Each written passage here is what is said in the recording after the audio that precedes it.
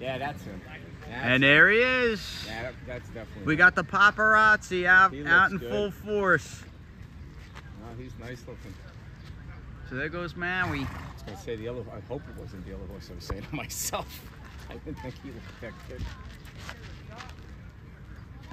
Yeah, he's a little sweaty. So Oh, just looked tired. galloping and ready to call it a morning here.